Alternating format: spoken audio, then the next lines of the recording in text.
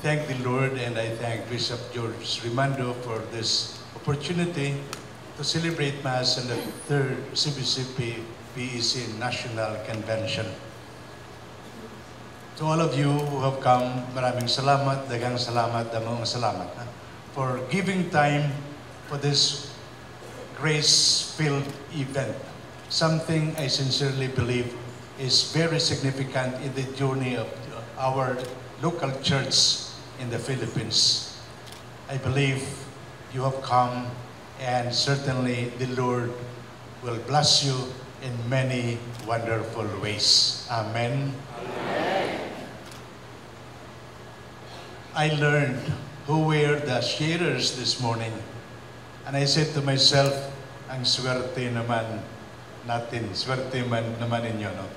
Having heard the sharings of no less than His Eminence Cardinal Quevedo, Bishop George Rimando, Father Picardal, no? and of course the stories of your very own co-juniors, the stories of each one.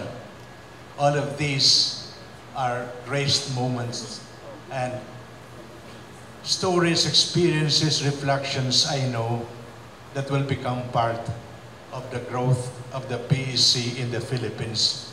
And so once again I say, congratulations for such a wonderful experience today. Of course, starting yesterday, not today and tomorrow, even up to Saturday. Because much of what I thought are important ideas and Vatican II, PCP II, and, and BEC had been shared. Allow me just to underline some important uh, realities, I believe, on a personal note, no, worth uh, also reflecting just for today. The gospel speaks of the kingdom of God, and I know that all of us are convinced that in many small and wonderful ways we are striving that the kingdom of God would truly happen, would truly be built in our midst. And so, tungod kay, as I said, you have had such comprehensive sharing from no less than as Bishop Quevedo and Bishop, I mean, Cardinal Quevedo and Bishop George and Father Picardal. Let me just point out a few things I thought uh, might be of, of help to deepen our, our appreciation of the BEC and the challenge of appreciating Vatican II, the call to being community of disciples, and of course the call to being church of the poor. I often quote Pope Benedict XVI when he said, the best interpreters of the doctrine are the saints. I say this because if we just look back for a moment, before Vatican II, the last to be canonized saint was Pope Pius X. And he died, he became Pope in 1903.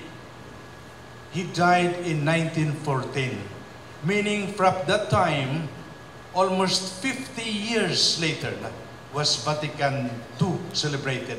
So he was the last pope to be canonized saint. When Vatican II happened, October 20, 1962 was the opening.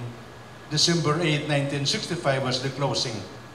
After Vatican II, the one who opened it, John the 23rd, is now a saint.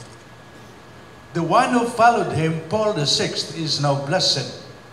And the one who had implemented much of Vatican II, Pope John Paul II, is now a saint. In such a period, after Vatican II, we had such, to me, such holy and zealous leaders, servant leaders in the church. And if we want to know and if we want to listen, and if we want to be assured of how to interpret the doctrine, then we can be rest assured when we read John the 23rd, we are reading the teaching of a saint. When we read Paul the Sixth, we are reading the teaching of a blessed soon to be a saint. When we read the teaching of John Paul II, we are reading the teaching of a saint. What better assurance than to be able to know these are people, saints. John Paul II visited the country. We have seen some of them, tingali may selfie-selfie pa, ano, may picture pa na. And they are the ones teaching us. I just mentioned this because I thought the impact of Vatican II no, has been so significant. It is admitted this is the greatest religious event of the past century, Vatican II. That's why when we reflect to the 50 years after Vatican II, we know no, we are looking, reflecting on that most significant or greatest religious event. John Paul II would say, no, Vatican II is the compass by which to take our bearings in the vast ocean of the third millennium when we want to know where to go. Take our bearing from Vatican II.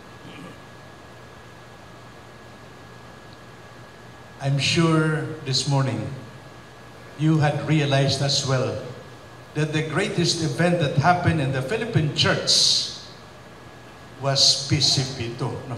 in the last, of course, uh, 50 years. January 20 to 18 of February 1911. For almost a month, something like 490 participants were there in San Carlos Seminary Complex.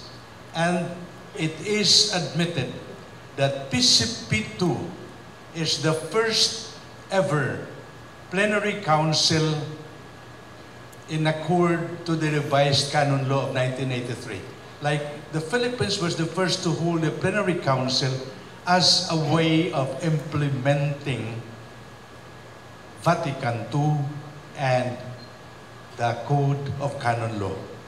That's why what we're saying is, if we link together these two important events, then we know the place of BEC. Because it was during PCP2 that, from our own language, we say, we canonized.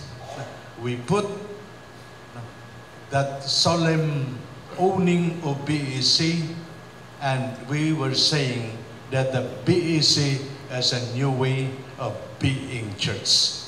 And it is in the perspective of defining the church true to the spirit of Vatican II, the spirit of renewal, the spirit of updating aggiornamento, no?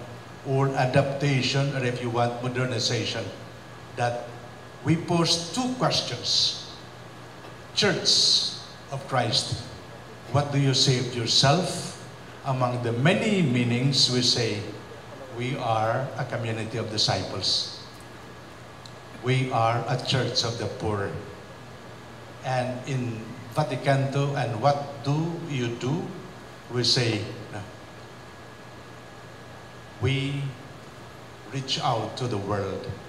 The hopes and joys, the struggles of the world are our own. Let me end with, with a connection to what we have emphasized as Church of the Poor. I know it has been also uh, elaborated to us. Let me just connect it with the forthcoming International Eucharistic Congress in, in, in Cebu because it's barely a little like two, two months from now. And for those of you who are coming, uh, maayong pag-abot, malipayon nga pagpasakop, yun, January 24 to 31. But I mentioned that because even in the document, just to, to uh, siguro underline that spirit of becoming church of the poor, the document there says three key invitations. Una,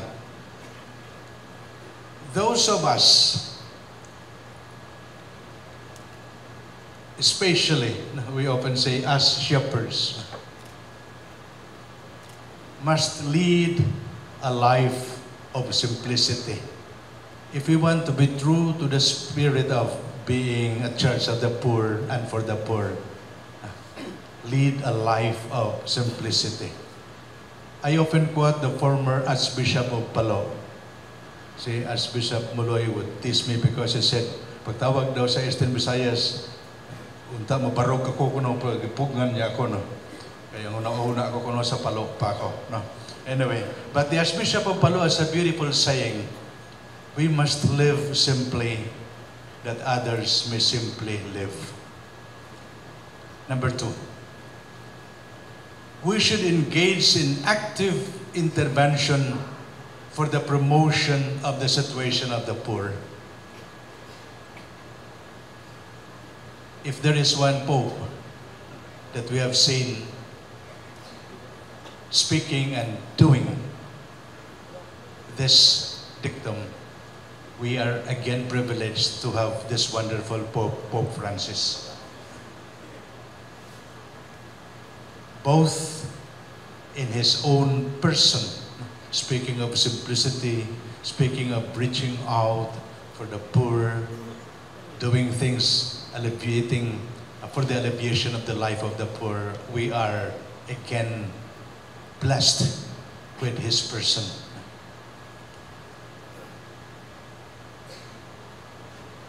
Watching the presentation of the Nakapaburka group, it's so touching how they are able to gather strength and hope from the onslaughts of Haiyan because of faith and also because of the support, the help from many other people.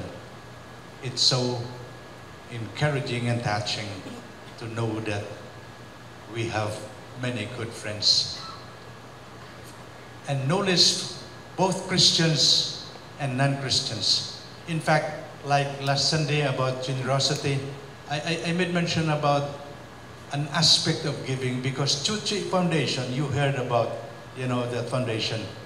At the end of the year, the leader was saying, yes, thank God we had helped a lot of people. But also, you should thank the people you help for giving us the opportunity to help them. What a beautiful reminder and that disposition of, you know, helping those who need. Thank those you help for the opportunity given us to be able to help.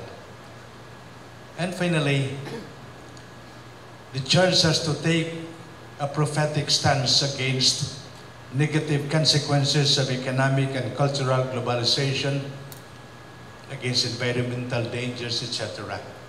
The latest encyclical of the Pope, Laudato Si, and Environment, I think, is also a good point for reflection and our BEC. How to protect, promote our environment. In Eastern Visayas, they know what happened to Ormoc. They know what happened to Guinsaugon. There's no need to elaborate. Because there were less trees, or because we had cut trees and not planted as we ought, then nature has its way of getting even or reminding us. BEC has to be mindful, the Church of the Poor has to be mindful of how we should take care of God's blessings to us. So just for today, I, I repeat, I know you are blessed with many of these reflections. I underline a few things which I thought no, might, might help us appreciate that we are indeed a BEC. I'd like to end by underlining what a great brother, leader in the person of Francisco Claver underlined about BEC. Because he said, no, there are many dimensions of BEC, unity and diversity, no, equality and dignity, sharing and participation, he said. To me, to him, the key element that makes BEC as it should be is participation. I'd like to end with this note because to me, to me, when I think of BEC, it is reminding you, our dear lay people, thank God that you realize it is your privilege, it is your duty, it is your role to participate. For many years, the church has been quote unquote mostly, you know, clerical.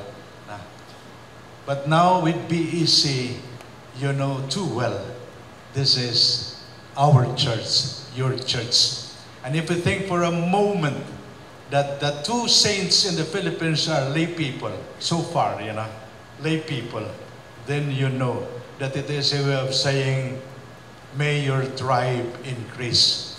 Please, sometimes despite the difficulties that, that you find along the way, some of these difficulties may be posed, you know, by, by some of now.